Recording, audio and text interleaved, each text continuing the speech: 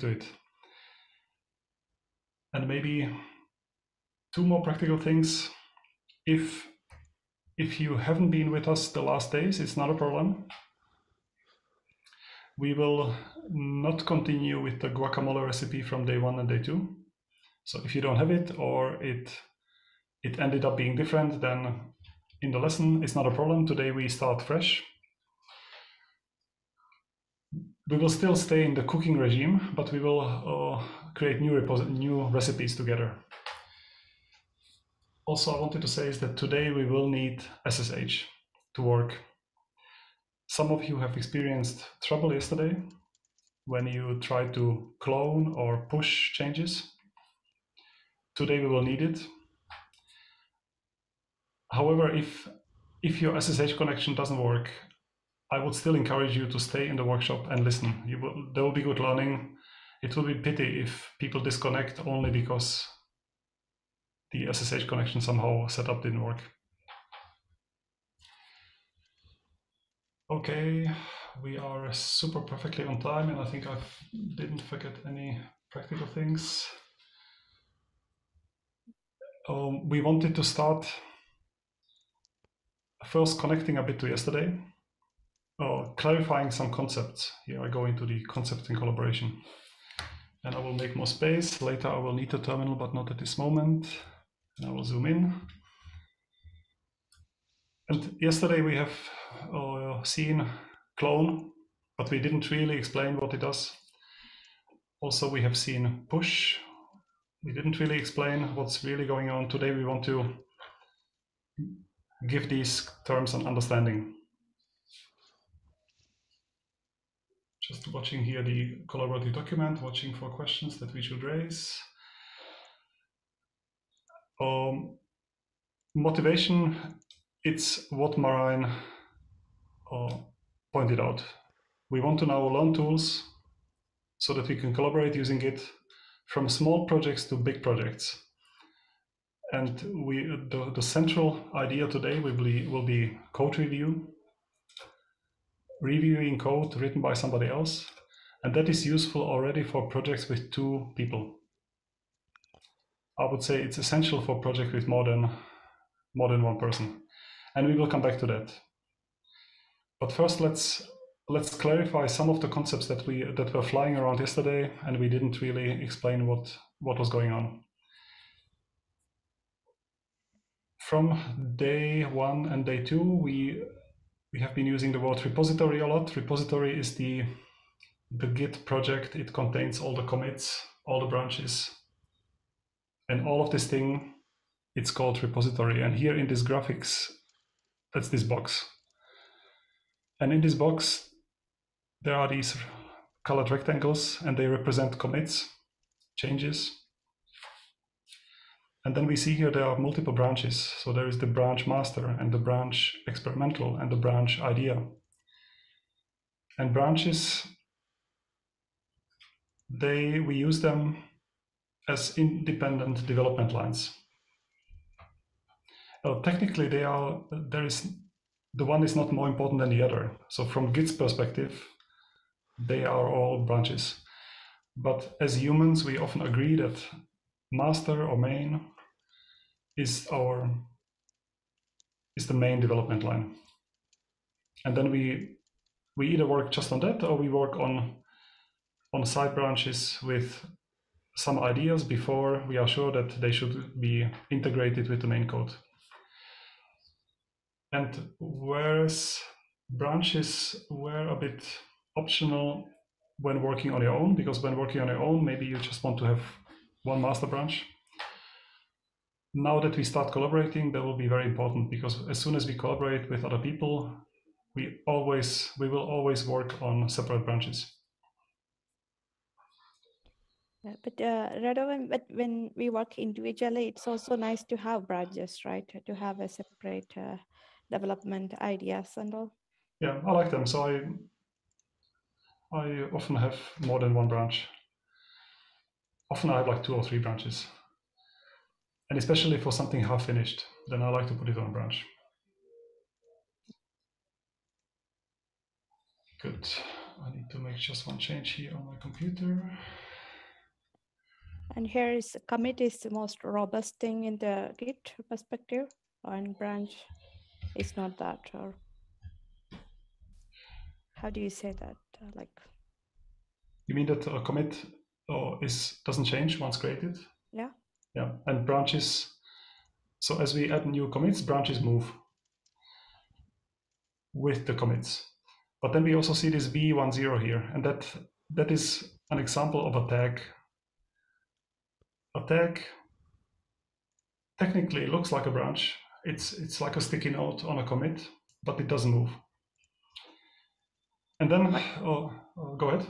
Uh, what is the use case of tag if it's uh, like a, a, branch? And uh, when are we supposed to use tag? Oh, tag is useful if I want to, like here I see v, v10 pointing at a specific commit. And I want to have a way to find this commit in a way that I can remember. Like I don't remember this C7F0 40 characters. That's hard to remember. It's hard to communicate. If I want to tell you over the telephone what which version you should use, I will have hard time giving you this over the telephone, but it will be easy for me to say you should get the V10 version.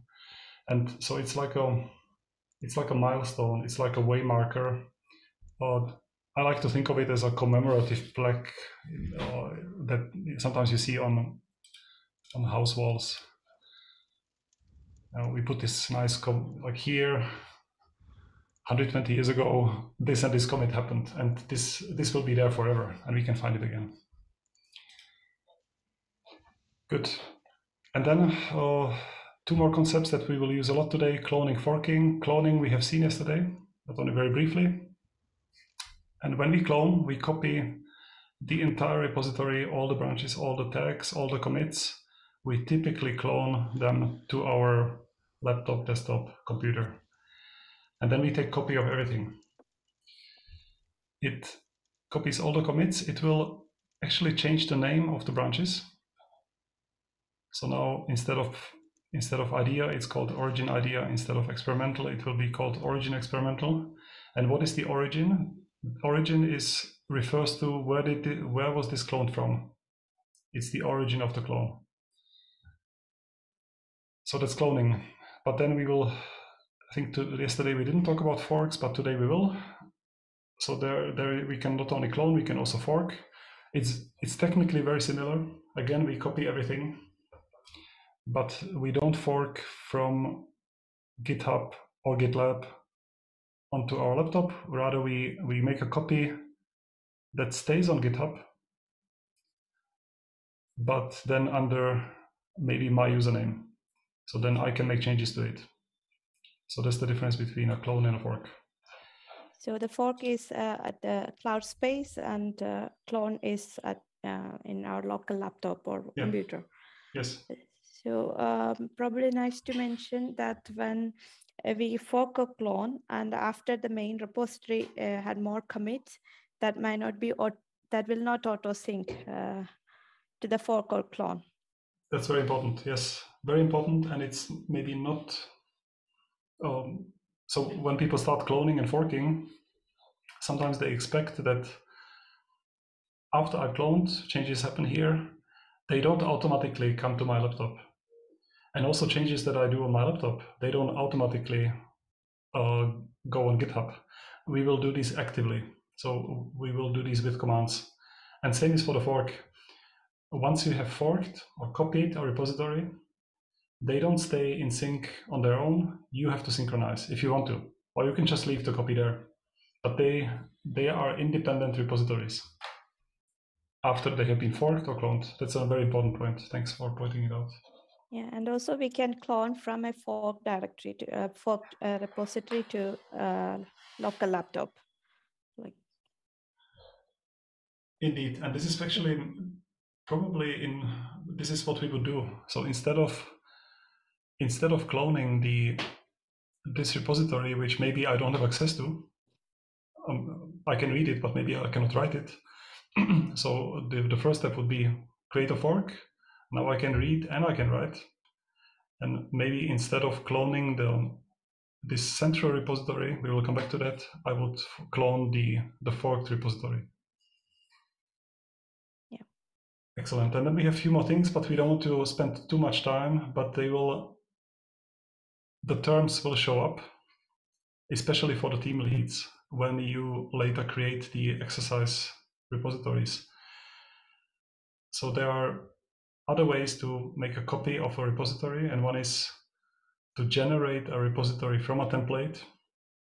And we use these for these exercises. And it's it works a bit like a it's like a cookie cutter. So when you uh, when you bake cookies for Don't know Christmas, um, there are these metal cookie cutters. So you can if you want many repositories to be similar to start with a similar structure, you could create a template, and from this template, from this cookie cutter, cut similar looking repositories.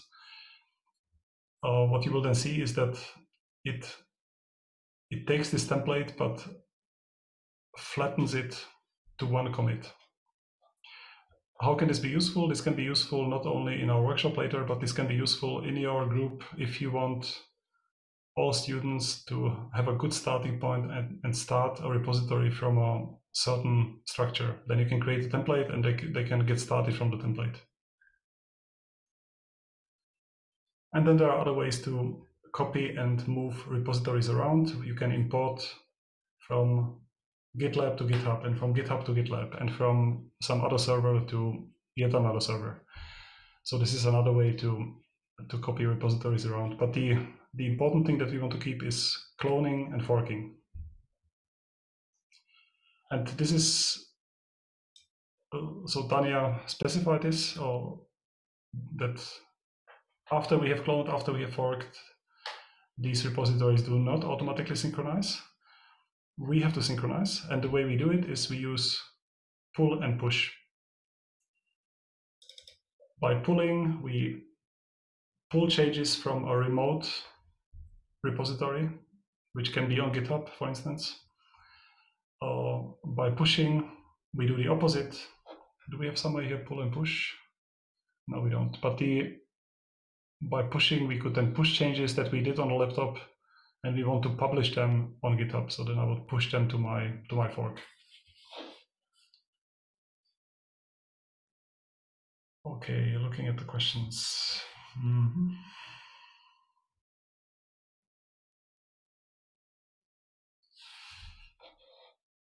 what was this somehow clear? Should we should I clarify any of these terms more? Should we move on to to the next episode?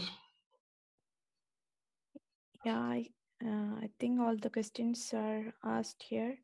Is there anything regarding SSH we need to make sure? Yeah, SSH. Um, maybe we should. How can we find the so if people still want to install it and set it up, how can they find it? Maybe we can put it on the collaborative document. We have um, uh, our install instructions for SSH. We will need that in a little bit less than one hour from now. And the SSH part we need to for the pushing.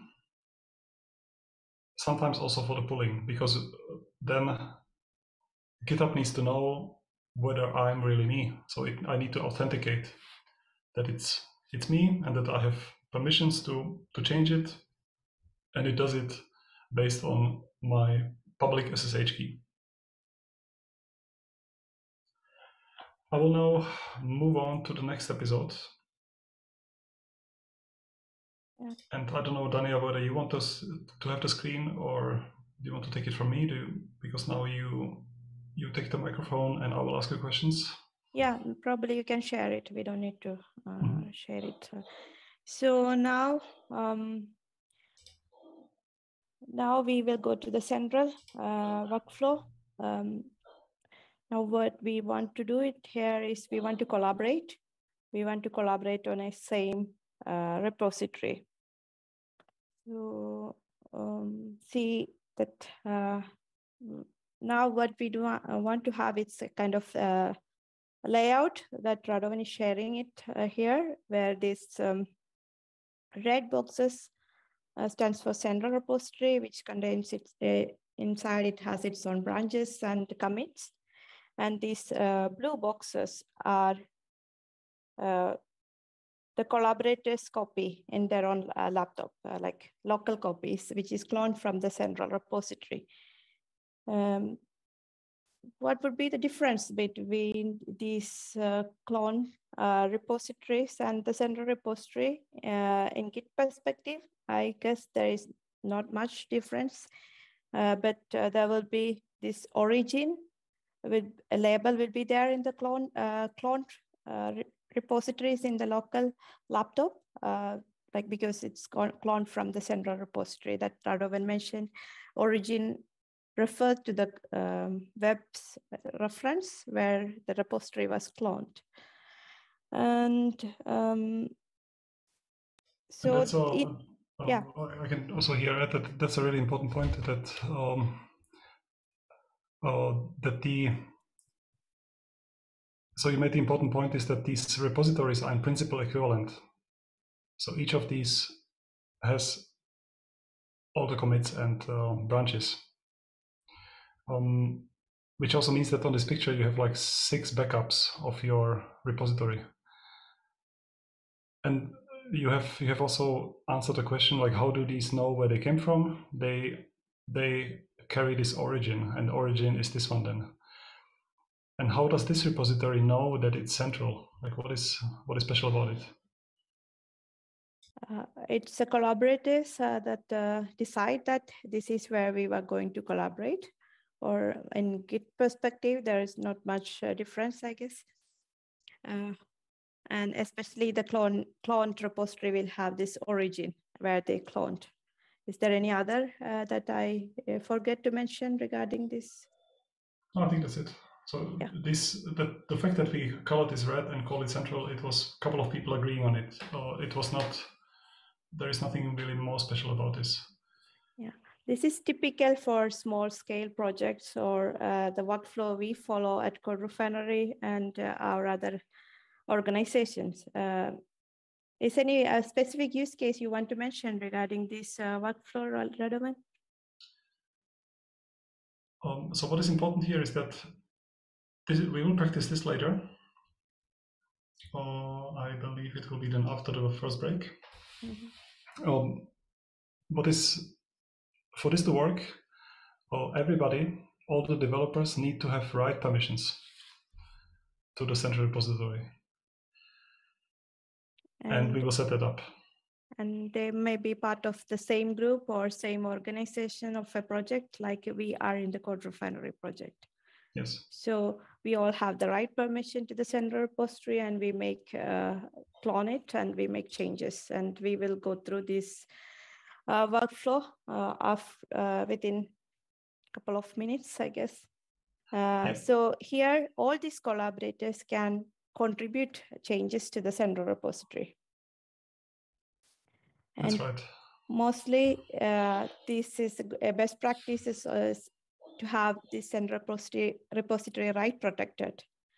Uh, write protected, yeah, that doesn't mean that we could not write because we can do it not directly. It's uh, due procedures. We can write it uh, that we will do with the pull request uh, that um, we have mentioned earlier. And uh, that's always nice to have uh, this kind of due procedure rather than uh, writing directly to the central repository. Yeah, and this connects to this is what Marijn yeah. mentioned. So what we what we will set up is that we will have a code review and we want to review changes before they go into the main branch. And I like to emphasize that it's not it's not just about the quality. It's also it's, it's especially about the learning, because then at least two people know about the change instead of just one person. yeah, and there will not be uh, uh, should not be not be any hierarchy like uh, it's everyone is equal uh, kind of power, not someone who should uh, do this. And it's it's like part of the group. Everyone can uh, should be able to uh, review and uh, put suggestion on this. This is how a good repository workflow works, right? That's a good point. So should a is it a good idea if so should the reviewer always be more senior than the submitter? Not necessary, like not really, uh, because everyone should be able to. Because if I if I could uh, review something from uh, my senior, it, it's a learning experience for myself, and it's a bit more sharing work uh, work, and it's also uh, put this uh, workflow and the repository more equally distributed. Mm-hmm. And how do you prefer, like, to have a review from everyone, anyone from your project, or it's like? Yeah, I also like that everybody should be able to review. Of course, there might be changes that um, certain people are more familiar with than others, but I like that nobody is more equal than others. Um, I like also the idea that I don't know master students reviews the changes of a professor why not? Um, it's it's good learning, and and, so, and sometimes it's the master student who has then who knows the latest tools and the latest the best language uh, design principles. So why why not? And also the master students can suggest something to the professor's uh, pull request or uh, change uh, if there is uh, like something that and it's uh, it should not it it's not supposed to be any kind of uh, uh, controlled uh, way. It yeah. is uh, like a real flow of uh, work and how to put the changes. Mm. It's a collaboration, not uh, like a hierarchy. Mm.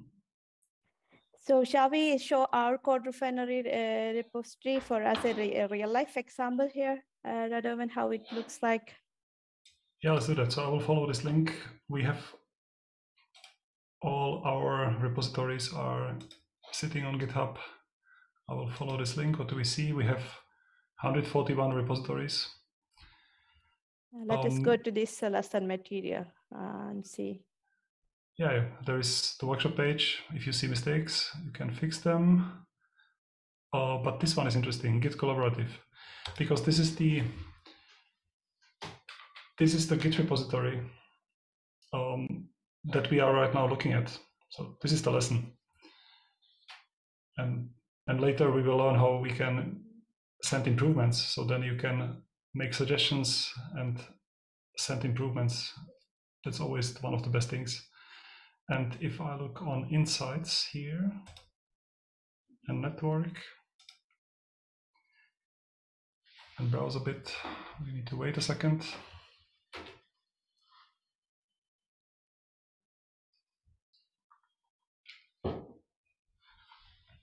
and it's nice that we get many questions coming in. I'm watching them. I will comment on some of them. So here in this lesson, we typically all work within the same repository. The little dots that you see here are commits, and the differently colored lines, they represent different branches. So what we normally do. And the color doesn't mean anything. It's just uh, differentiating each yeah. branches. And the way we work is that if we if we want to make a change, we create a new branch, we create a commit, and then we there is the code review happening. Somebody's looking over it and it goes into the main branch. And the main branch is the that's what we are looking at right now. and I wanted to pick up a few questions from the collaborative document.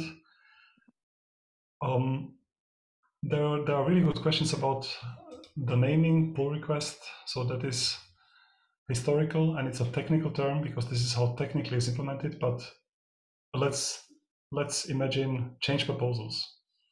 Mm-hmm. There will be change proposals happening.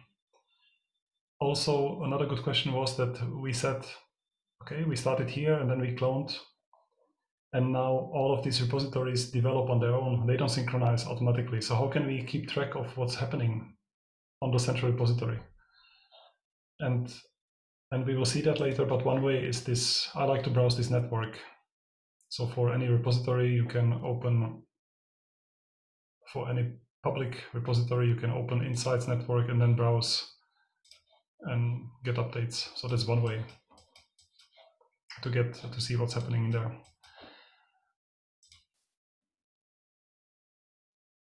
and uh, probably it's nice to mention about fork and clone uh, one more time. Like fork is always to the GitHub namespace uh, where you want to have a copy of this uh, central repository. Yeah. And we will have an exercise uh, after this session. The first session is mostly the central workflow. Uh, but clone is you are cloning a public repository to your local laptop. And mm-hmm. clone plus push doesn't mean fork. It's a different thing. Like yeah. you clone it and you create a branch and work on it and push it to the remote uh, repository. If it's uh, if if you're a collaborator, you can do it directly to central repository and take make a pull request and someone review this and merge it to the central repository. Yes. And uh, we can also, for the moment, we can we can forget about the forks at least for the next one hour because we will only the first the next one and a half hours we focus on on this layout on on cloning and only later we will add one more level to it and then we add uh, forks and we also explain why do we do that. Like what is uh, because it adds a bit of complexity but why do we add this complexity? But for the moment we don't have to worry so much about forking. We we only have to understand clone pull and push uh, should we what else should we talk about here uh, um, should Mm-hmm. Are we, uh, did we explain all this concept uh, before we go for the exercise preparation? We can have a little bit preparation and then come back after break and uh, um, discuss the goal of the exercise. Yes. So what we want to do now in roughly 10 minutes is that we we explain what this exercise is about and what you need to do. Uh, yeah, oh, we and... will discuss the preparation first mm-hmm. and we'll take a break and come yes. back. Yeah. Should I take or you will share the screen or? What do you prefer? You can also take the oh, screen oh, yeah. from me and browse it. Yeah. No, I can. I can just uh, uh, go ahead with the talking. So shall we go with uh, exercise preparation? Maybe uh, part of team, we will discuss how they, they can prepare for the exercise first. And during this time, maybe the individual part, uh, participants following on stream, they can relax a little bit and maybe ask more questions on, on the collaborative document. It uh, sounds a good idea. Yeah, and these steps that are highlighted here, you can do them also after the break. We we only now want to give the big picture in case something is missing so that you have time to communicate it. But we have planned so that also during the exercise time, you will have time within Teams to, to set this up. Yes, and uh, if you want to follow up us while uh, creating a template, you can do it as well, right? Mm-hmm. Mm-hmm. Then here uh, so each group, uh, we will call the team leads as the maintainer who is maintaining the central repository. Yes. And everybody else is collaborator. Yeah. And if you are in a team, typically we recommend four, five, six. It can be more. Uh, uh, we know that we have also classrooms watching. So then um, the team leads or a couple of helpers can be can have, take the maintainer role. Everybody else will be the collaborator role, and here you then need to communicate your GitHub usernames with the with the chosen maintainer so that they can add you. They will create an exercise repository and they will add you as collaborator to the exercise repository so that you can make changes to it. Mm-hmm. And if you don't have a team lead and you are watching together with some friends, one of uh, you can volunteer being a maintainer and others are collaborators. It's not mandatory that the team lead should be the uh, maintainer. Mm-hmm. Yeah, so team up with a few people and one of you will take the role of maintainer, the others can take the role of collaborator. Use then, we recommend to use screen sharing and do these things together. What should people do who are not part of a team? Uh, they should, uh, yeah. Are we not uh, going to show that uh, how to create the template or no? Yeah, maybe we can. So Yeah. should I? Uh, so now we now we imagine we are the team lead, right? Yes, uh, the uh, people in the stream, they can relax and uh, check the collaborative document or uh, just watch it. uh, but we will come to the uh, their session within a couple of minutes. Yeah, and sorry, not team lead, but maintainer, because you have pointed Yeah. out that it doesn't have Yeah. to be the team lead. So Yeah. now, now we all imagine I'm the maintainer. I'm setting up this exercise for a group of people. What should I do? I should follow this link here, this one. It's a template. It's this cookie cutter, cookie cutter that I mentioned earlier. And therefore, it, it says that this is a public template and has this green button, use this template. And from this template, whoops, you can create the exercise for your team. Mhm. And there we want to do create a new repository. When you create it, uh, please make sure that you create it under your namespace. Uh, So not here- in, yeah, By namespace, you mean owner of order, the. yeah. Yeah, yeah. So in my case, it will be that's me, and I can you can call it as you like, but I recommend that you call it just for consistency with our material. I would call it not template, but centralized workflow exercise. So the name doesn't really matter, but for consistency, uh, this will be our exercise repository, and it should be public because you want this to be findable by your team colleagues. But uh, private also can work, but we uh, recommend public here, right? We recommend public. The one thing that will not work in, in private is if you then want to browse this network, you want to see the commits and the branches, and it looks really neat. You will not see that under private, but that's why I go for the public. Here, it doesn't matter what you select because there is only one. Uh, doesn't matter what you select. So I will, yeah, I can leave it off. We will only, in this exercise, we will work with one one branch only Mhm. as a starting point.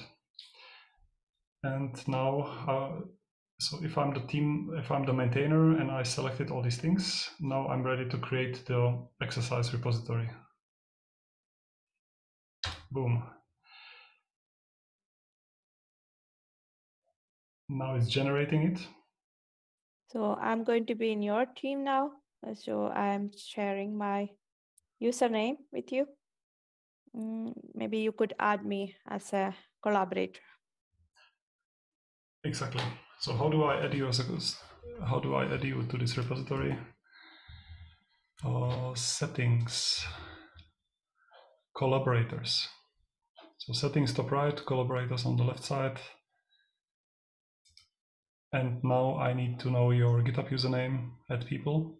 So within your exercise groups, you need to communicate somehow. Yeah, uh, if you are in person, you can communicate like uh, with the notes or something. But in Zoom, if it's in Zoom room, you can send a private message to the maintainer or uh, to a, a Zoom message to everyone. It doesn't Mhm. matter since you are collaborating that everyone will know your username. So it's Yeah. not And do you want to tell me your username or? yeah. I could uh, you you know that my username, my full name. Okay, Mm. Uh, I could uh, paste in is that you? Yeah. It's me. Good. So now I'm adding you to this repository. Now Tanya can. Oh, first of all, there is a pending invite. So now Dania go, got an email from GitHub saying that you got invited to this repository. Do you accept the invitation? Yes or no? And after you accept, you will have right permissions to it. And also, uh, you can get a notification on your GitHub uh, the bell icon. Mhm. If you go further, you will get notified that uh, you, Oh, here on the Yeah. bell. Yes. yeah, you are invited to this workshop. Mhm. And uh, we, I think we didn't really specify should people follow along or not. So the this is only for the maintainers, and even if you don't have to do it right now, you will have enough time to do it later. We only want to point out the important points, but there are also screenshots. Yes, this that's is for the team, uh, That's teamwork. for the team. Yes. And then we also talk about this watching and watching. That is a little bit less important for smaller teams. It will be very important when we then when we collaborate with all the individual learners. So what is that? Here you can on the watching and watching you can select whether I want to have email notifications about all activity. In this case, in this case, maybe not, because I, we don't want you to get over flooded with emails. So uh, I would recommend to choose participating and mentions because then you get email notifications about your changes and discussions that you are involved with. But it's up to you. And you can see that I have uh, accepted your invitation to be a collaborator. Oh, you have, okay, I need to reload. Okay. Yes, here we are. And what can I, oh, sorry, and I can, how do I know that you have right access? I think you have. Yeah, I think you have right, right permissions now to the repository. Aha, and um, should we show how to write protect the main branch, the master branch? Yeah, that would be good to show now. because that's a good thing to do. So settings, we are still in settings now on branches. And it tells me my default branch is master. And I haven't protected any of my branches. So now any of the collaborators can git push directly to any of my branches. But here I want to protect master because we want any changes to master should go through code review. So add branch protection, branch name, master, and we want require pull request before merging. And then you can even, if this is a big project, you can even say that we, we require two people to approve. Here, we, we don't want to be too formal. I will unselect this. I only want to, I want to require pull request, but no other restrictions. So I keep everything, There's everything. Mhm. there's a good question, HackMD. Um, let people know when individual learners watching should be listening again and doing things. And that's something I'm also not clear on. Is this only the team leaders that are doing this now? Or Yeah, we will be back in like one minute and talk about, at least in my understanding now, we will also talk about individual learners. Is that right, Yeah. Tanya? Yes, So, yes. so if you are still here, then we are now, uh, we will also talk about individual learners in a minute. Yeah. And after that, so after we explain the setup, then we will go into a break. And after the break, we will start with the exercise. Okay, so back to back to here. Anything I forgot to say? I know uh, the unwatch and watch we already mentioned, but uh, if I'm I'm collaborating something with uh, two three people, I always would like to watch it. But uh, for Mhm. this exercise, uh, it would be nice to put unwatching. Yeah. Like It can be really educational to watch even a repository where you don't even work on, but just to see how do other repositories, how do they work, how do they communicate. It can be a project that you use. Uh, that can be really good learning from there. yeah, But now let's also involve here, let's engage the individual learners. So what should they do? Following yeah. Before that, uh, I also want to mention that uh, we are not forking here because in this exercise, uh, everyone will have this uh, read and write access to this uh, central repository. Correct. That's why we are uh, creating template for the team uh, teams and for individual learners, we will have a central repository where every individual will have right access uh, if they send a request to access. Mhm. So forking, we will come back after this exercise and uh, discussion. Yeah. That's the other session. And now we will try something really ambitious and let's talk about individual learners following on their own because we also want to collaborate with you.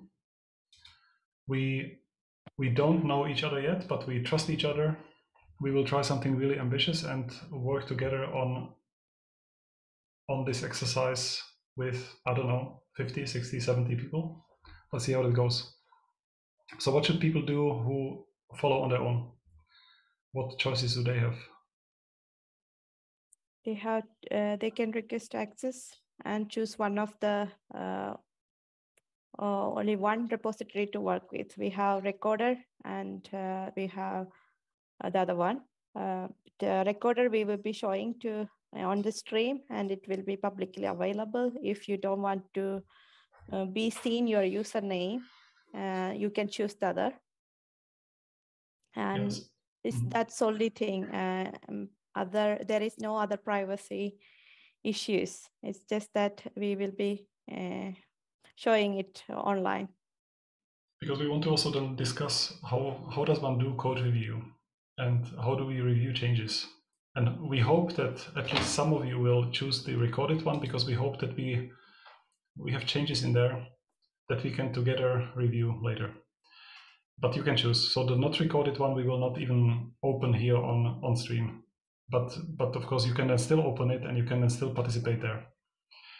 Um, in order to get access to to these repositories, you need to request it.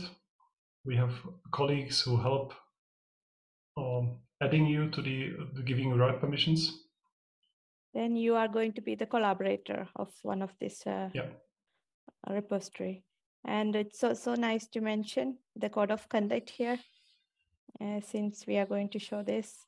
And also people work on the teams, it's also nice to follow the Yeah. code of conduct, uh, Yes, not and put any content uh, which make others uncomfortable.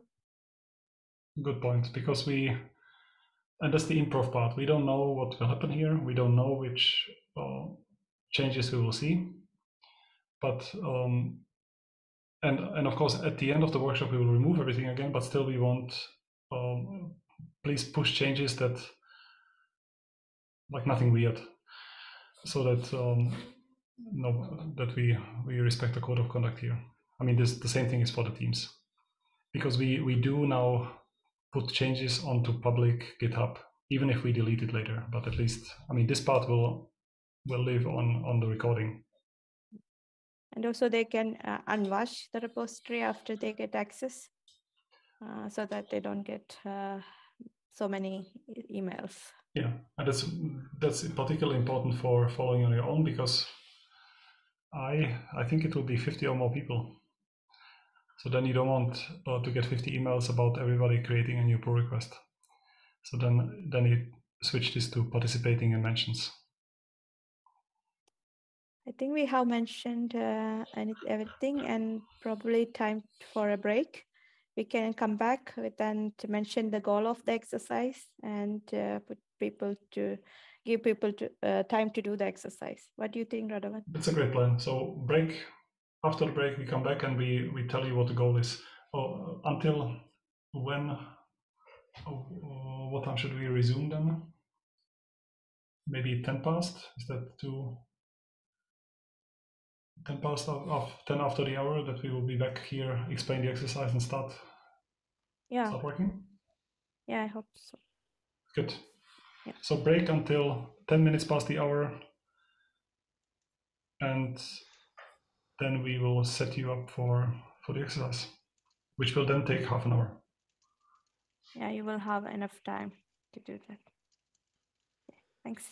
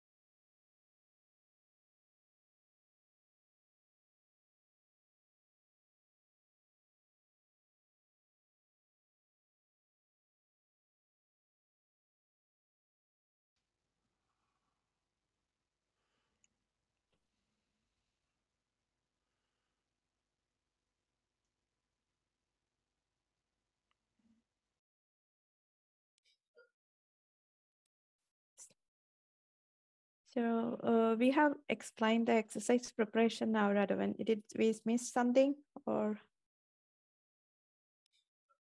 No, I think we didn't. But uh, thanks also for the feedback that maybe we spent too much time on the preparation. But now we are all eager to actually start coding, and we are about to start. So, what is the goal of the of this exercise now? So the goal of the exercise is to have this uh, work collaborative. And so some uh, one of if you are in a team, one of you will be the maintainer, and others will be collaborative and uh, collaborators. And if you are in a stream, you will be collaborators of our uh, CodeRefinery workshop uh, central repository. So our goal is to create uh, first clone this uh, group repository. Uh, if you are in a team from that, or in if you are an individual partner, clone it uh, from our repository you get access to, and create a branch, create some new files, and push this uh, branch uh, to the central repository and create a pull request. Step A to H, and we are not going to uh, elaborate these steps now.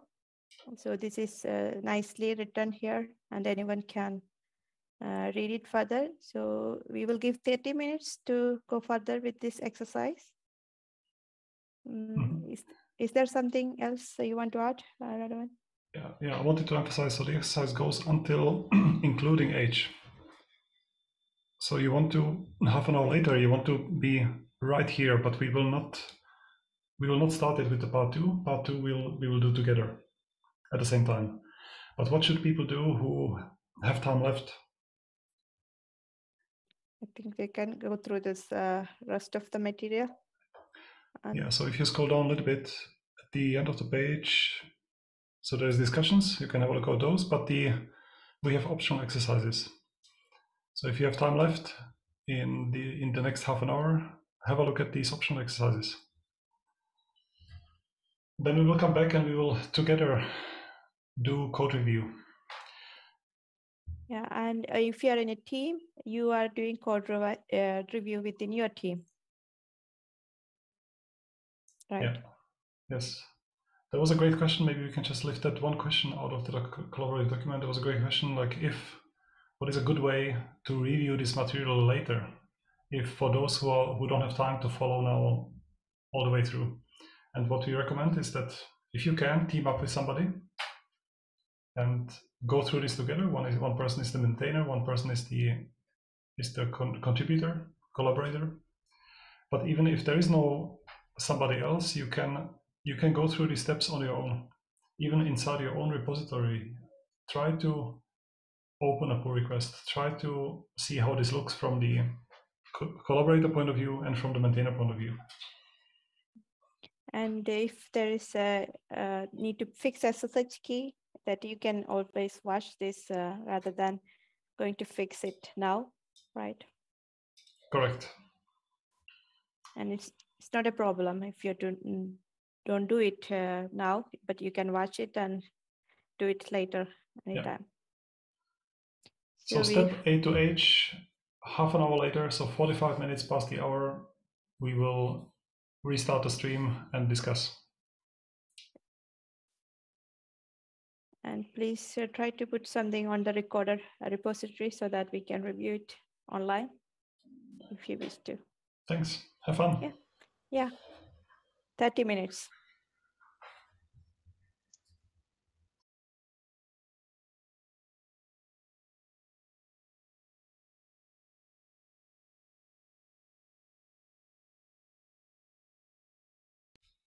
Okay, Daniel, you have the microphone.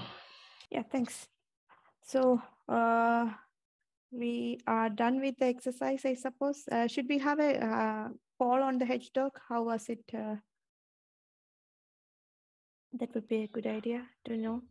Uh, That's a good idea. Let us know whether this was too little time, too much time. Yeah. How it went. So yeah, that's good to get your uh, feedback. What we have been doing now was um, like we clone uh, a repository and uh, create a branch and do, did some change Radovan, you have a branch or create, are you going to push a change to the central repository? Yeah, so I did how, like, as many of you did, I created a branch. In my case, it's, I call it my name and what I'm working on, git status. So I'm on this branch. And then I, on this branch, I created a file where I share a tool that I find useful. Mhm. And I'm just about to, so I want to here show in a minute or two how we can create the pull request, which many of you have done. And then we will switch roles and we will all together review our pull request. So this commit that I did, uh, here, here we go, git, git show. This commit only lives on my computer uh, because I didn't push it yet. So I will push it in a moment. But before I do that, I want you to notice this part here. I will, and this is one of the optional exercises. I will cross-reference the issue number 10, which I created, where I announced what I would do here, issue number 10. So what are the issues uh, for you? Like, is it some proposal to change or some work you want to do? So they can be used for issues. I mean, they can be used to to report problems, but they can also be used um, to communicate an idea before doing the coding Mhm. and getting feedback on the idea and informing others that I'm working on it. So uh, I also like to use issues this way. Here, I this, so this is not a problem, but I open an issue where I inform everybody this is what I'm working on, and you can give me feedback. And later, a week later, a few months later, when my pull request then arrives, I can cross-reference this discussion. Uh, when you create an issue and you want to work on it, uh, how do you uh, say to others that uh, you are going to work on it? Oh, the way I like to do it is that I self-assign. This way, I signal to everybody that I'm actually working on it. But it's up to the project to decide how they want to communicate this. Yeah. So uh, you have pushed the changes and there are number for issues uh, and also the pull request. How do how do the GitHub uh, have these numbers and ident- cross refer when we do some kind of uh, Yeah, so in GitHub, uh, issues get are all numbered consecutively, but also pull requests get numbered. In GitHub, they share the same uh, numbering. So now we can see that there is an issue 38 and then 41. So what happened to 39 and 40? These are probably pull requests numbered 39 and 40. mhm. Should I push my change? Yeah, please. Let's do this. How was that again? It was git push origin and then the branch name. Uh, there see. was this minus u option upstream. Uh, how do you define that and uh, how do you use in your workflow? Yeah, we have a we have a, we have this box on on on that. So if you want to know how that works, I'll just scroll up here. Let's not get seasick. But this meaning of of dash u is explained here. In short, you can live a fulfilled life without using it, but it will it will help connecting the remote branch and the local branch. And then instead of typing git push origin one delta, I could I could maybe just write git push and it will know what I meant to do. It will also give you a little bit more information than when you type git status, but here I left it out, it's not a problem. Let's push. And now I saw that something happened here. Where should I go next from here? So how do you uh, mm, uh, how do you create a pull request? So you have some information here on your terminal when you push the branch. Yeah. Great question. So there are multiple ways to do it. One way is I saw that just by reloading the page, I saw that now GitHub anticipates that I, I might want to open a pull request because it it noticed there is a new branch. I pushed it, I'm logged in, so I could do it from here. The other way is I can follow this link that I got. Both will lead to the same place. Let me open this one. And now, uh, now I'm about to open a pull request. Should I say which? What are the things that I look at when creating one, or what are the things that you look at when before I click here on the green button? What are the things Uh, that you normally check? I I usually uh, would like to uh, give some uh, sh- brief info about what I'm going to change, and if I'm working on a uh, issue, and Mhm. it's going, I will refer it either either if I, if that's finished, if that work in the issue finished, I will use this uh, magic word closes Yeah, in my merge request. So then I don't need to go back and close the issue. It will Yeah. GitHub will do it for me. exactly. And what about you? And is there anything else you? So normally I make sure that this is the title is descriptive because that will be the first thing people see. I also verify that it goes from the branch I wanted to the branch I wanted. So from this branch to this branch, this is what I wanted. It tells me also that there won't be any conflicts. It's able to merge. I then also, before putting pushing the button, I normally scroll down here and look at what is it that I'm actually sending, what commits and what changes. Because if if I see something here that I don't recognize, then I stop. So I normally verify that is this really what I wanted to send? This looks really good. Mhm. Okay. And also, it's possible for you to uh, merge it into another branch that you already have in on GitHub, right? Exactly. I could choose a different one. It doesn't have to be master. And it suggests master because there's the default branch.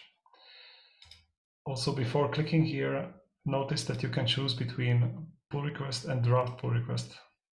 Why do you use? Uh, why when you sh- one should use draft or work in progr- progress merge request? It can be really useful when I want to notify that you know this is work. This is almost finished. Uh, I'm working on this, so I want to inform everybody.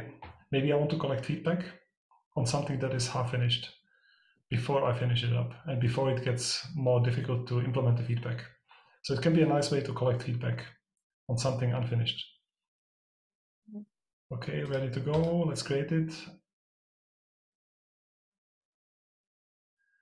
And should we then change roles and you are the maintainer and you take the screen and review a couple of these pull requests? Yeah.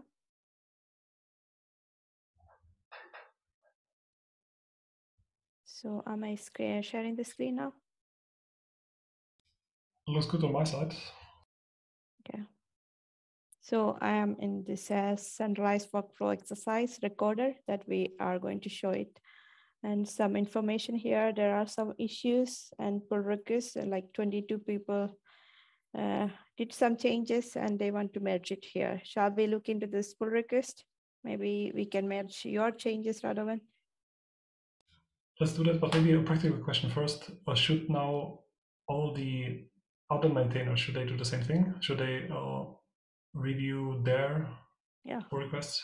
Yeah, that's great question. Uh, I think it's a good idea that the team uh, who works together do it together with us. Uh, like uh, they uh, review the codes, uh, their collaborator uh, want to merge, merge, and then we do it for the stream participants here. Okay. That sounds good. And also for those of you who wait for a break, we we will take a break soon. So after this review, we will take a break before we go to the next next level. Yeah, it's good. Uh, we are a bit uh, uh, lagging, but we will catch up uh, later. So I I see that there are pull requests and there are numbers. And which one was uh, yours? If I Uh, mine was 47. okay, yeah. So I click it here, and I see that uh, there is uh, something, but uh, checking for ability to merge, and it says the branch has no conflict with the base branch, but it's not the code review actually. We want to see what is the change or what change Radovan has uh, done. So we here there are some information about commit. There is only one commit and there is a one file change. Shall we go and see? Uh, yeah. So Radovan says that this is a nice tool to have diff, uh, git diff in the terminal. Look like the nice. Thing. Yeah, of yeah. course I forgot to actually put the link in there. It's only in the commit message, but uh, later in the next exercise we will see how can we make how can we request changes to a pull request. Okay. Yeah, probably I could say that this plus signs and the numbers, these numbers is git uh, give it for each lines and plus is that something you are you have added, right? If you have deleted something on existing file, how it should uh, how it how it will look like? It will be. Yeah, so the plus is they are also a way to comment. If you click on yeah. it, you can actually add comments in there. Yeah. But I wonder whether I we have a pull request that removes and adds. Probably we can take it during the fork exercise and we can have Sounds it good. there. So if I want to ask where is the link,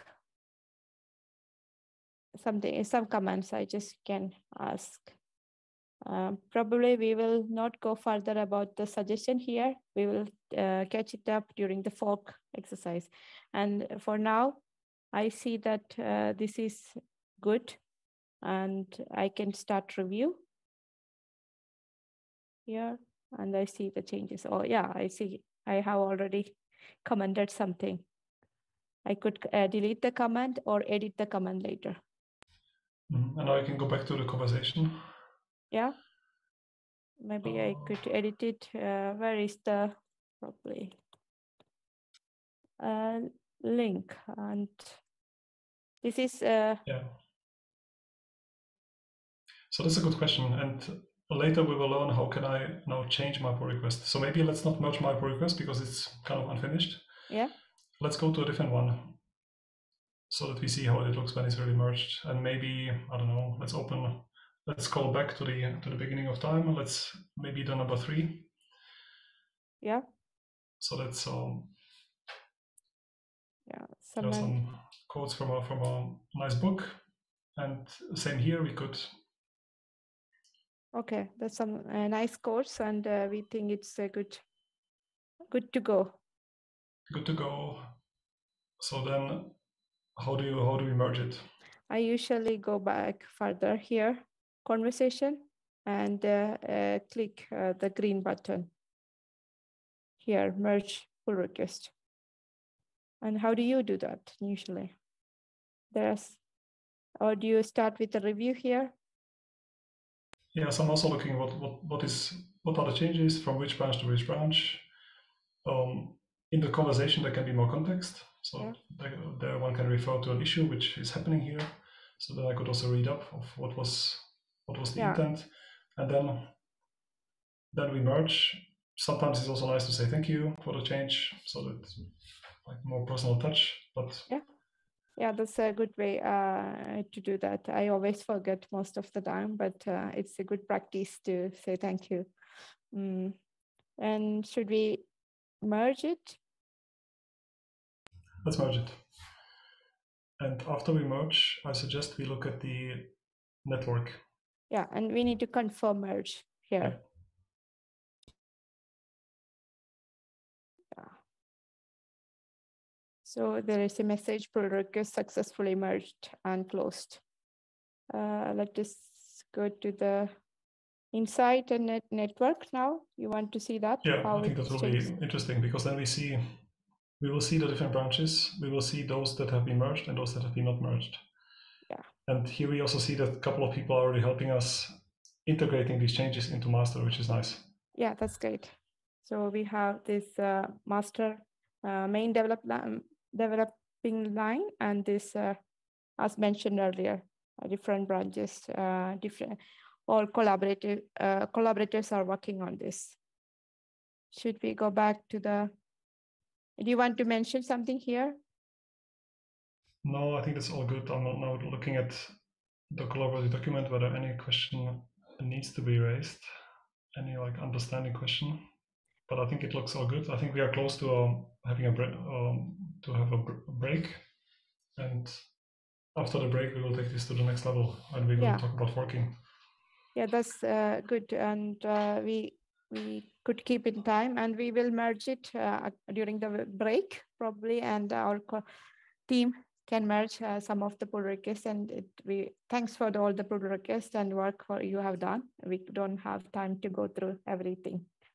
Yeah, and you all have now write permissions to this repository, so you, everybody can help reviewing and browsing other people's changes. And the idea is always that it's a different person reviewing than the person who submitted it. And again, the, the goal is learning. It's not it's not so much gatekeeping. It's that both people learn from each other.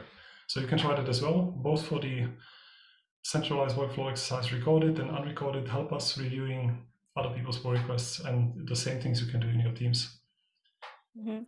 And also you can have the discussion as uh, we mentioned earlier with Radovan's pull request, uh, that if you want to have a request, uh, uh, like probably I should go there for a minute, uh, like uh, saying something about mentioning.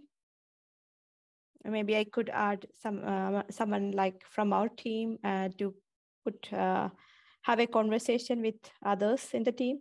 So you can mention with your username this so they get, will get notified if they are not watching this uh, repository.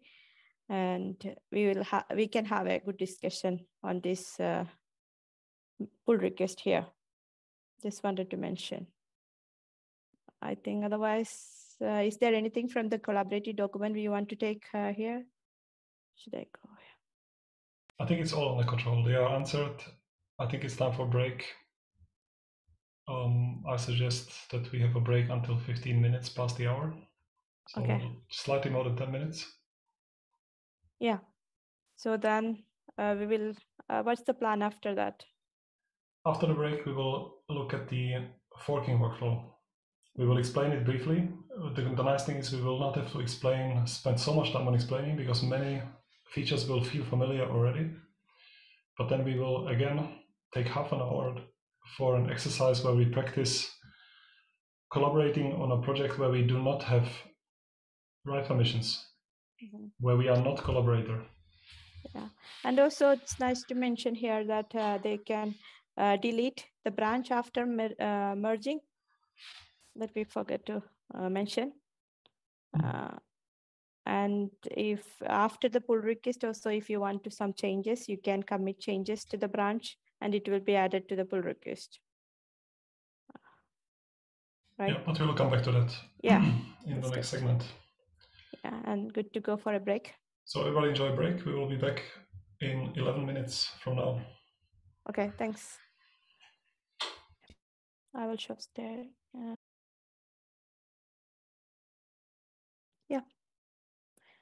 So welcome back. Um, uh, I hope this exercise went well with you and you can ask questions on the uh, collaborative document. But uh, before we go to further session, probably we could have a small discussion about this Git commands when uh, which commands we use locally or which commands we need to have this to work to have this internet access. Uh, we have been learning uh, commands since the last two days, and now we were mostly working on this uh, uh, cloud space. So for you, uh, may I ask Radovan, like which commands do you think that uh, like you can work with um, locally, and which is uh, which commands necessarily need internet access? Oh, and I wonder whether it would be helpful if I go to beginning of today. Oops. Uh, one comment from HackMD. Someone asked, is anyone working on merging the branches of the non-recorded repository? And I guess not because I see many there. So I will go do that. Yeah, and everybody can p- please help because you all have uh, write permissions also there. Okay. We wish we could review all of them here, but it would take too much time. Yeah. Okay, see you. And answering Tanya's question, if we go back to this concept, uh, really the only commands that require network and that do anything with the network is pull, fetch, push, and clone. Yeah, that's where we communicate with the uh, cloud space. Yes. So all the other ones, like if we create branches, create commits, uh, they don't they don't use any network. They stay on our computer. So did that answer the question? Was that Yes, question? yes, that's good. Thanks. So if if suddenly internet stops working, or uh, or you are working on a plane, uh, you can still do most of the Git things, just not uh, not cloning, not pushing, not pulling. Yeah, thanks. Shall we move on to the next uh, session, distributed version control and forking workflow? Let's do that. Here we go. And here, looking at the time, our goal is we we explain this in five minutes and then we start exercising. Again, we want to give you half an hour. The exercise is similar, but we will sprinkle a couple of additional uh, steps that are good for you to know about. For instance, how to how to modify a pull request if you get feedback on changes, or how maybe we will also see conflicts. How does a conflict look? How do how can we resolve conflicts in in code review? You you will maybe also notice that somewhere there there will be automated testing, a little bit hidden, but maybe you can find it. And next week we return to automated testing. But if you look at this image, it looks different than earlier today. There is still the central repository. There are still the blue boxes, which, which are our computers, but now there are these green forks. And the forks are copies, but they live on GitHub or GitLab. Everything that we say today also works on GitLab. And here we will collaborate on a on a taco recipe book. So you can invent a new taco recipe. But we will collaborate in a repository where we do not have write permissions.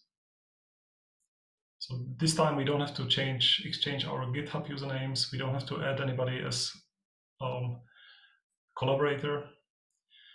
The individual learners they will find an exercise repository created by us. It's down here. And again, there is one recorded, one not recorded. The teams, uh, so the maintainer will set up a repository for their team, but not add any collaborators. You don't have to exchange any GitHub usernames. Sorry, from the HackMD uh, stream is still showing the HackMD, not the uh, lesson. Oops. Um, that is not good. Thanks. Sorry. Yeah, thanks for pointing it out. Okay, so then hopefully it still made sense what we what we mentioned here. We are now on. I will scroll up. Um, we are now on this page, and we will collaborate on a taco recipe. But in this exercise, our first step will be to fork it, and then we can all write to our fork. And we will send the pull request now not within the same repository, but we will send a pull request from the fork towards the central repository. So that's change number one. So the fork is going to be our personal uh, space, not. Exactly. And uh, since we already had this intro talk about uh, the use cases, but if there is someone who joined a little bit later, could you uh, uh, say something about the use cases of when uh, is needed to fork a uh, repository rather than like uh, some use cases in some big projects? Uh, Yeah. Uh, so the use case is that with this mechanism, we will be able to set to propose changes to basically any repository on GitHub GitLab, which is public, and we don't have to we don't have to ask for permission to have write access, because for some projects that is not really possible. They don't know me yet, but I don't have to even ask them. I can create a fork, I can work on a fork, I can modify it to my liking, and then if I want to send the changes back, I can do I can do this without even asking for permission to be part of that central repository. And maybe over time they will then add me. So it's it's it's a very typical mechanism for most open source projects that uh, where where the contributors don't know each other. They don't work in the same research group. Uh, probably I could add that uh, when forking, um, it will not. I, I would like to repeat that it will not auto sync uh, after you forking. After any development happen on the central uh, repository, it will not auto sync to the fork repository on your uh, GitHub space. Yeah. And we will be doing uh, synchronize uh, after uh, during the exercise, right? Like if there is any changes after we fork, we will yeah. see how we can uh, update our fork. Yes, our plan is again to send a pull request. That's the goal of the exercise. But then we will again review these changes together. We will focus now on new aspects, but then we will together learn also how can we update our forks after all these changes have been merged because they will then end up in the central repository, but then they will not be on my fork yet because the fork is now an independent Git repository. Good. And I think this is a really good question that I wanted to also raise. Like, why do we even create a fork? Why not just clone? Because I can, if it's a public repository, I can clone and work on my computer. But then I can't show my changes to anybody easily because they live on my computer. And and the maintainer cannot pull these changes from me, from, from the laptop. So now I have backup, I can show them to somebody and we can use this nice mechanism to integrate these changes. And in this, when, we, when working with forks, we actually work with two remotes. Uh, one is the central repository, one is our fork. And to Git, um, we can have as many remotes as you like and we can give them names. We have already seen origin, but we cannot give them different names. And we to Git, they are placeholders for a web address. So you can rename them, add them, remove them, and then you can use pull and push to communicate between these different remotes. There's good question, HackMD number 98. Why is there a blue line from red square and blue square since the interaction with red is only via green? So why is there a blue line between the red between square and blue and, square? And the blue square? Just why is there a blue line from the red square and blue square? That was that signaled the initial clone. Mm -hmm. Wait a moment, but was that even a good idea to do? I think that's a good question. Maybe we should remove these arrows because what we what we have should have done instead, and what we will do in the exercise is that we will fork, and as this dashed green line, we create a fork. We will not. Ah, sorry. Now I remember what they mean. Uh, okay, I will rewind. Um, I remember now what they mean. They they mean that when we later synchronize changes from here to here, one way of doing it is to pull from central and push to fork. But we will see that there is an e even easier way.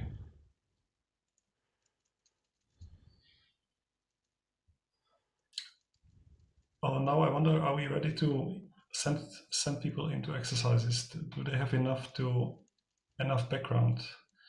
Um, I think one important thing, we are now in a different repository. So step out, make sure that you are not in it shouldn't say centralized, it should say forking. When you fork the exercise repository and clone it, you will see that there is a taco recipe and your goal is to add more taco recipes. Um, goal for everybody is create a pull request, but there are some nice optional exercises on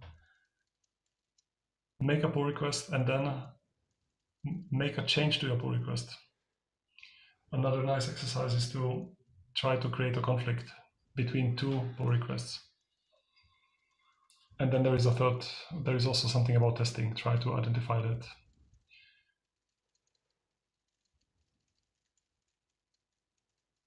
How are we doing? Do we have enough background now to, how much, how long will the exercise be? Half an hour? Yeah, that would be good if they are uh, done with, uh, within 20 minutes, what should they do? Look at the optional steps. So there are green boxes, optional steps. Um, after the exercise, please also take a few minutes break.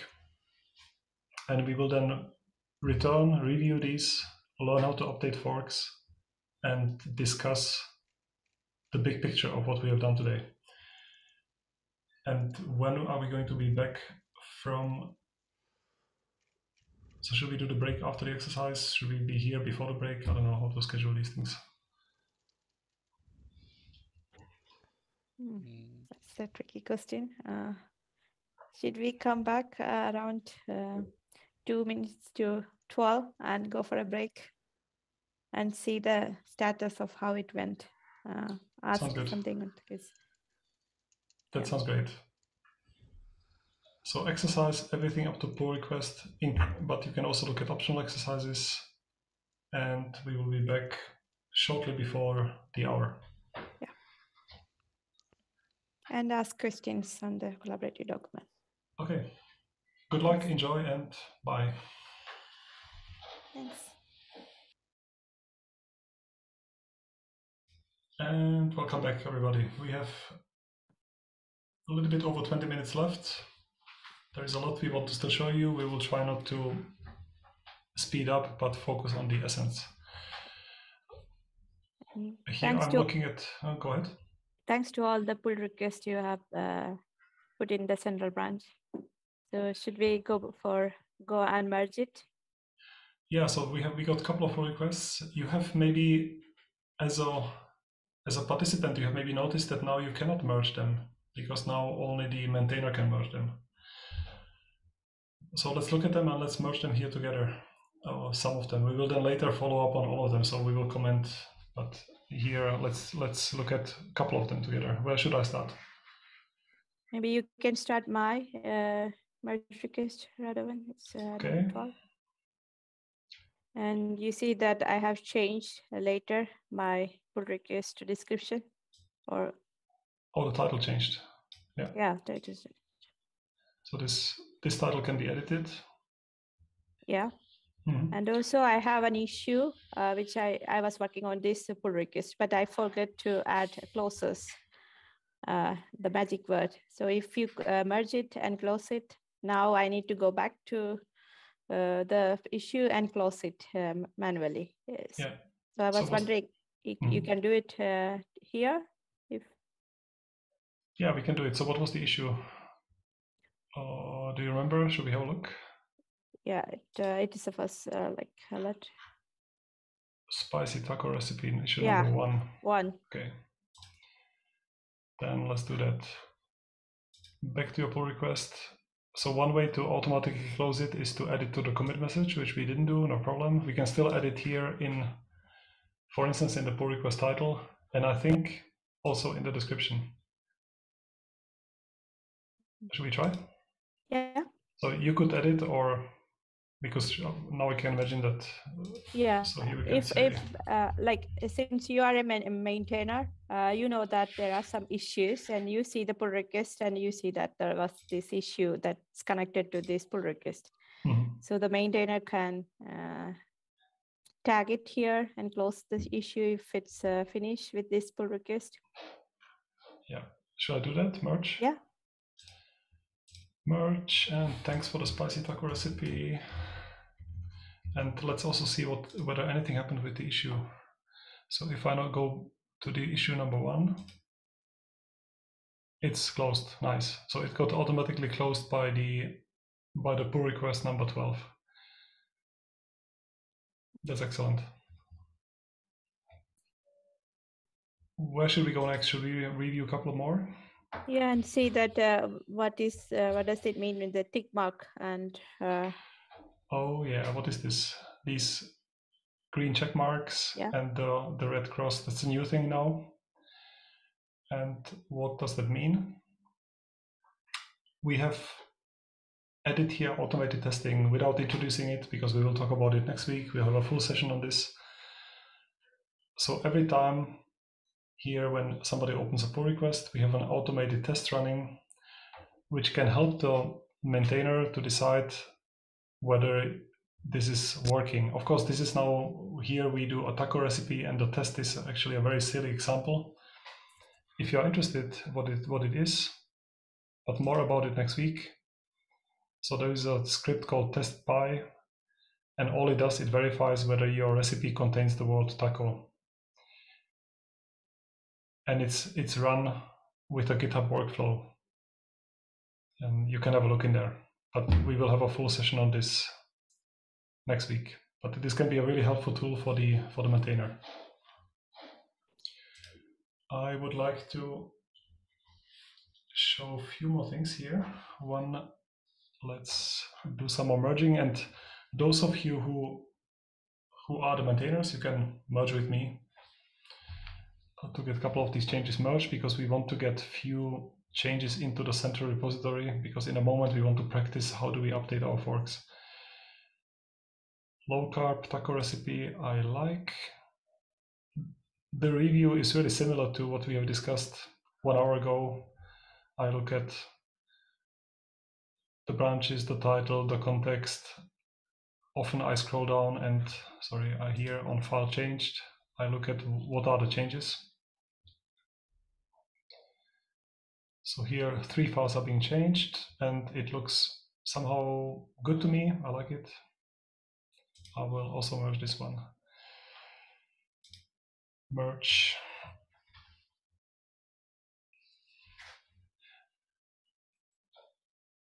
And this file has modified, um, it has also modified the cauliflower tacos file and changed this line in the dry pan to the open fire. In the meantime, I, I was working on a different pull request. This is my pull request where I do something else, but I modify the same line of the file in a different way. So instead of a dry pan in the oven. I'm currently completely unaware of the other pull request which just got merged. I will open this one. And what I'm hoping to see is, I wanted you to see how a conflict looks. Here it is. This pull request is now conflicting. How come? Resolve conflicts. Because in the in the earlier pull request, we changed dry pan to open fire, and now I changed dry pan to oven. And here we need to decide.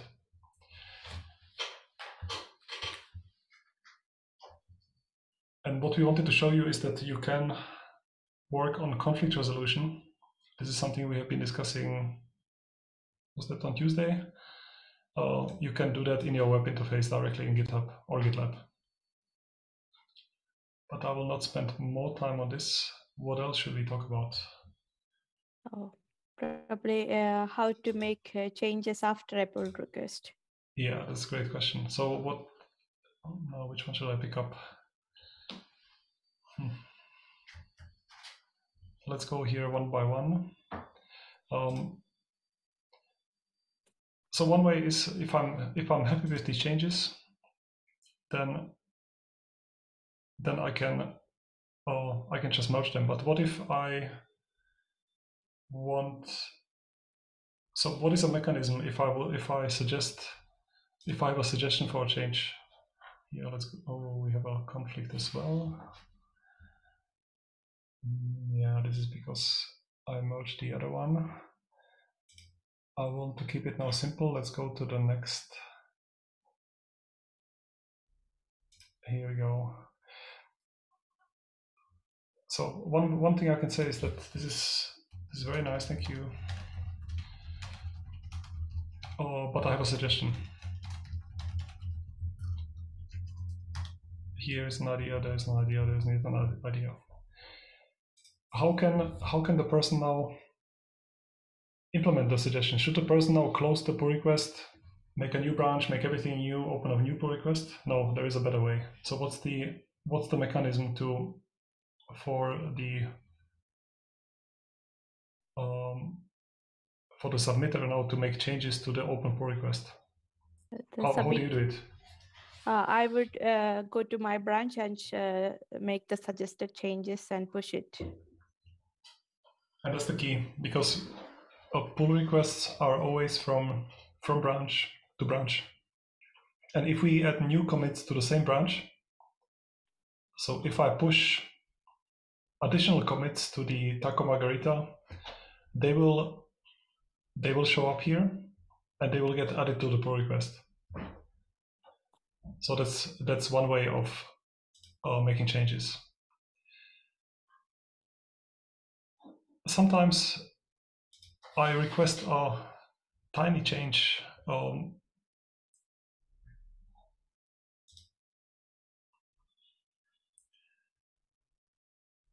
uh, what if I want a very very small change to a to a code? I could ask for it, but there is also a nice mechanism to suggest the change directly into the into this diff. Here on plus, there is this plus minus, and I can put a suggestion directly into into the change, and it will make it easier for both of us to accept it or reject it with a mouse click. The other person doesn't have to go to the terminal, create a new commit, push the new commit. So this can be a nice way to, if you see a typo, to, to suggest the change directly. All right, now I'm also looking a bit at the at the collaborative document. Feedback template is already there. Please add your feedback for today. We still have a little bit over 10 minutes. What should we do in this remaining time? Oh yeah, we forgot. Ha. We have something to talk. Yes, that's important. And maybe I should merge a few more things, just a few more files. Pineapple steak, why not? Let's merge this as well.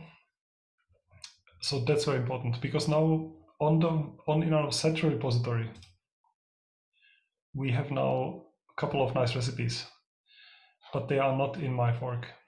If I look into my fork, and here I'm on the fork, I don't see all these nice recipes. I only see the cauliflower tacos. So how do I get them from the central to the to my fork? How do you do it, Tanya? Uh, I will pull again uh, the master branch uh, to my local uh, repository. Yeah. Git pull origin. Uh, instead of push, I will do git pull origin master. Exactly. So there, I want to show you where to find it. And I encourage everybody to also try it. So in updating forks, one way is this way. And I think maybe this is what you do. You pull the changes from the central repository, you push them to your fork. That's one way. You can test it out. Also, hmm?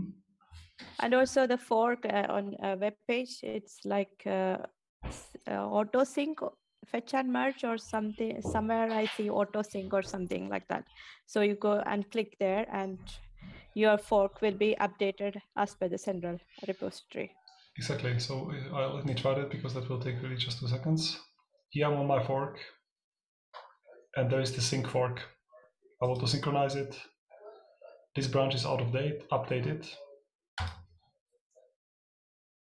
and now I get all these nice recipes. So now my fork is the master on my fork is up to date. Does it say somewhere? It should say it somewhere here. This branch is up to date with the other repository. So I encourage you all to try it. And also it's a good practice to update uh, the master branch every time you start any new development. Great point. And we like to at least close this section here with uh, with the Luke Skywalker congratulating oh, uh, Ben Kenobi congratulating Luke Skywalker that now we could we got a glimpse of the Git remote and we took a, our first step into a larger world. Oh, uh, yeah. What do we do now with the remaining 10 minutes? Uh, There's we... a question or idea I got from HackMD, uh, the collab document that what if someone did not have time to do it this exercise right now, but would like to do it later, uh, can they still do it on these repositories? And can we follow them, maybe merge some things later also? Yes, that's a great question. It got a similar great question got asked earlier. So one thing you one thing you can do is team up with somebody and uh, work on it together. But if you cannot, we you can still send these pull requests. In fact, I will get email notifications. So now after this work, after today, I will open up my inbox. There will be many notifications, and I will go through them, and um, then we can give feedback there. We can get things merged so that you also get to practice then updating the fork. We will not immediately destroy everything here. Uh, in in a week or two, then then I will remove really the exercise repositories. Probably it is also nice to say that uh, anyone can contribute to the code repositories if you think that there is something we should improve for the next time after learning this exercise. Uh, yeah, now you know how to, and now you yeah. know where to find it. And uh, there were so many good suggestions on how we should clarify the exercises and do more of this, less of the other. And then please send open issues, send us pull requests. Let's change these together. This is how we develop these lessons. Do we have time to go into this, how to contribute changes to somebody else's project, or should we more focus on other questions? No, I think that, I think that would be good. Um, yeah. I mean, Marijn talked a little, a little bit about it earlier, but um, yeah, I guess we can summarize again. Yeah, let's do that.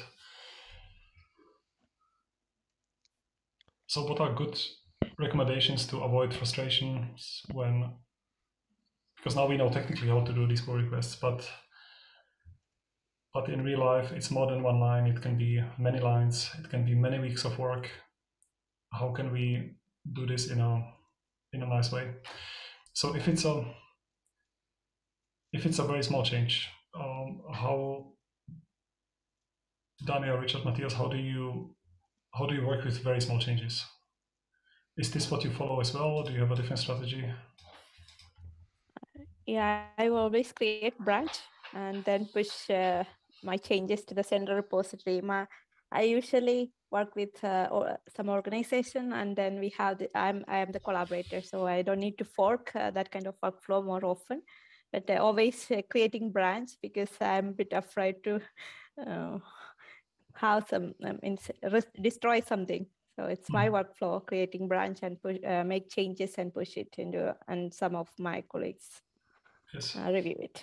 And I, I hope that's the same way for you as well, right?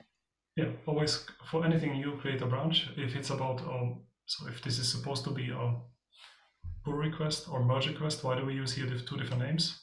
Because so on GitHub it's called pull request, on GitLab it's called merge request, but it's the same thing, same idea and for anything new, a new branch. And the, the reason is we have seen that when we push additional commits to the branch, they get added to the pull request. And that can be really confusing if you don't create a new branch. If you send a pull request from your master branch, because then you open a pull request and you think that, well, that, that was it. I can continue my other work. And then you continue your other work, but now that your, your new work gets also added there to everybody's surprise what if you see a problem like in in our lesson or in our code and so you observe an issue a problem you have an idea how to fix it. How how do you do it? If you want to fix it you can assign it uh, yourself or uh, suggest the changes there in the issue if you don't want to work on it right? Yeah. Because it's good to even if you maybe you don't have time to work on it or you don't know how to solve it, but it's still nice to inform our other people about the problem instead of keeping it to myself. Um, if this change takes three minutes, sometimes I don't bother opening an issue, but if if I if I see that this will take me a week or two, I open the issue. I say that I found this. Um, I have an idea how to fix it. I describe the idea, and I collect feedback and then I go in and code code really.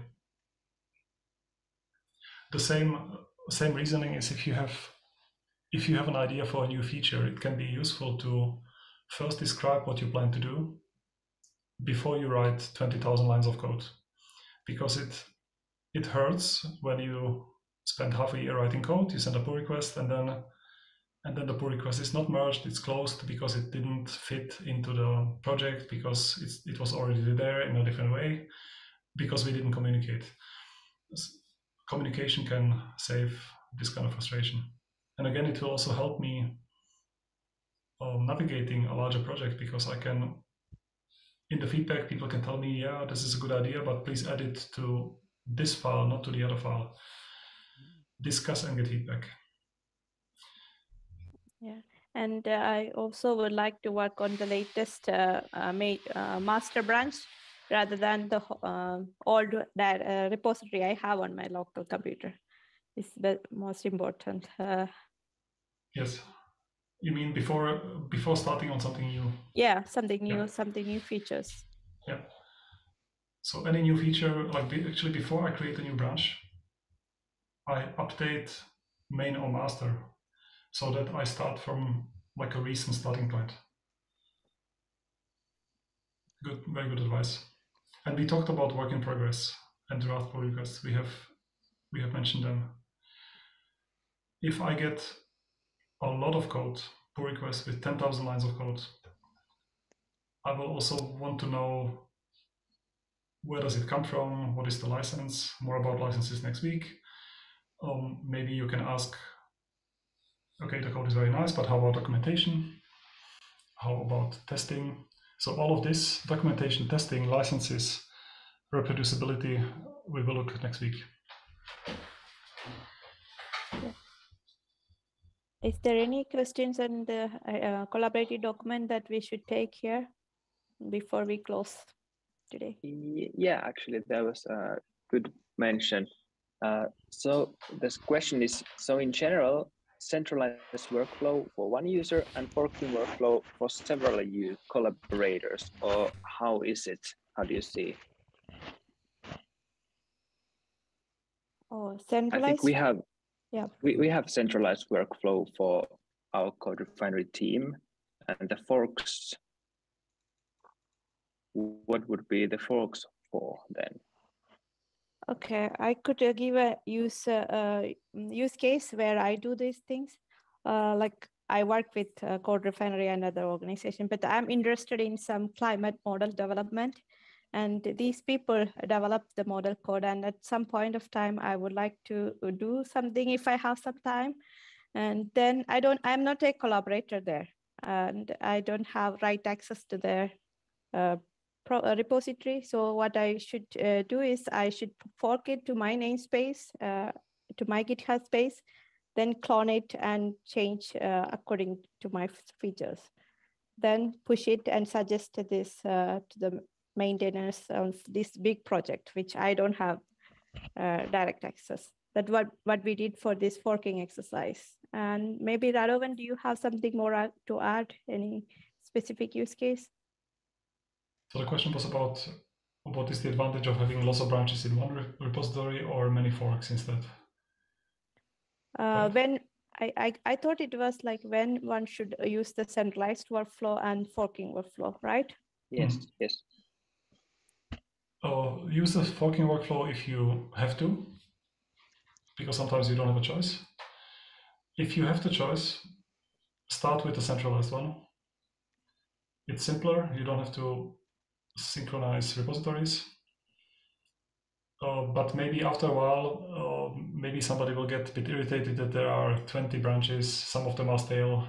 So if you want, if you, if in your project it's important that you have a tidy repository with the main and release branch and every all the work in progress stuff is somewhere else, then then you want to go to a forking. And but, also, but it's a progression. Yeah, also for the centralized workflow, you are uh, you need to get access. That how do we do it uh, today? Mm, for the forking uh, workflow, you don't need to have that. Uh, you know, you don't you don't need to provide your username and all to the maintainer. You can suggest the proposal. Would you say start with the simplest thing possible? Like a new project, you don't need to like I would say you don't need to decide, okay, do we do forking? Do we do this? You, can start by making it, see that it works, and then slowly add the different pieces. So add other maintainers to the central repository who can push. And then when stuff gets more complicated, okay, so now we add in, we'll try to do most things by pull request because it's worth it. And we're starting to see problems when with chaos when people are doing stuff unprotected. I know now we have people from the outside. We don't want to add everyone to this repository. Let's let the other people make forks and not be giving out access quite so much. So, yeah, like, you know, the question is sort of what should be done, but you can also say do the minimum possible and always be increasing, and it can slowly, yeah. It's a sliding scale, and you can add in each piece without radically recreating everything. I like that. Like we shouldn't try to make everything perfect in us and, and not not imitate big projects from day one because then it gets too complicated. Yeah. Get it good enough and then over time yeah. grow to different models. Yeah. So we're going a little bit um over time. I have some final comments I wrote down. So one, this is also someone wrote this in the feedback. But yeah, everyone will still need practice with what we're doing. So these things I mean, these are quite complicated, big processes and systems we're building. So we've given you some experience, but you know, you learn it by doing it and talking with other people or reading the lessons later. And that's okay. Don't feel bad about it. Um, so ask for help. Um, so for people who are at a partner that's advertised the course to them, the people that advertise the course can probably help you with these kind of questions. So don't be all alone. For example, if you're at Aalto University, we have a help session where we can help you any day, and we're happy to get these kind of questions. Um, maybe we can record some of these in the notes or in a follow-up mail today, whatever. Okay, um, so next week, we are not doing basic Git things anymore, but now we then we'll start using Git. So you could look at it as next week is practical practice for what we did this week. So exercises, for example, testing or documentation, where you'll get to use Git a little bit more and see it, but we're also teaching you other things. So it's okay to come next week if you weren't here this week. So if you have friends that use Git or you think um, would be interested, you're definitely free to invite them for the next week. Um, what does IB? Ah, I also wrote down, do you have any requests for icebreakers, like people to you'd like to talk to or stories you'd like to hear? Let me know and I can invite them. Okay, that's all I had written down. Super, but then thanks, thanks a lot, Tanya. Thanks, Richard. Thanks, Matthias. Thanks, everybody working on the background. Yeah. Thanks for all the pull requests. We will still go through them. The many good questions. Yeah. We also need to go through some. Yeah. Yeah. And thank you. Thank you, Rado and Richard, Matthias, and all others who works behind the scene. And also all the participants and especially the volunteer helpers as team leads or where the it's a refinery is all about uh, everyone. Yeah. So and so, we hope that after this lesson we will get more contribution from you guys, uh, yeah. Orgos, um, to yeah. do better on our LSS. Thank you so much, and yes. I hope everyone had a good day. Yeah. There, there's a comment here about couldn't get started because of access or SSH problem. So we're sorry about that, but the unfortunately once the day starts, there's very limited things we can do about installation access problems. Um, hopefully you've still seen something useful and you can figure this out. I'd recommend talking to someone locally who can see your screen. But it also is a good point for next week. We start using the Conda environment in Python. So you really should look at the installation instructions again and do the verification because if it's not ready by then, there is some new stuff. And if it's not ready, things will get behind very easily also. Okay. Mm.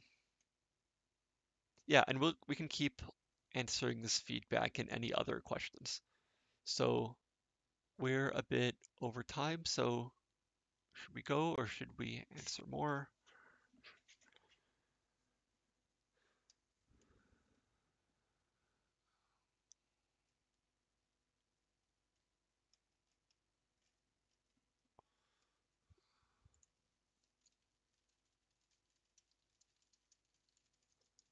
I guess we can go then.